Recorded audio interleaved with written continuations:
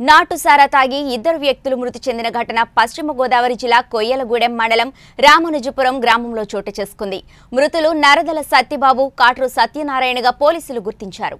రాత్రి కల్తీసారా సేవించడంతో వాంతులు కలిగి తీవ్ర అస్వస్థతకు గురి కావడంతో సత్యబాబు గ్రామంలోనే మృతి చెందగా సత్యనారాయణ ఏలూరు హాస్పిటల్లో చికిత్స పొందుతూ మృతి చెందినట్లు కుటుంబీకులు తెలిపారు. కొయ్యలగూడెం పోలీసులు కేసు నమోదు చేసి దర్యాప్తు చేస్తున్నట్లు వెల్లడించారు. వాలంటీర్ నెంబర్ ఒకటి వాలంటీర్ వాలంటీర్ నెంబర్ ఏదమ్మా వాలంటీర్ నెంబర్ కావాలంటే వాలంటీర్